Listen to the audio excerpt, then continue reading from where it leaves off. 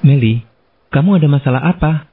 Minggu lalu aku membeli produk elektronik di sebuah laman niaga. Ternyata produknya cacat. Kamu sudah menghubungi layanan pelanggan? Sudah, tetapi responsnya kurang memuaskan. Buat saja surat keluhan, Meli. Ke mana saya harus mengirimkan surat keluhan? Kamu bisa mengirimkannya ke koran atau majalah.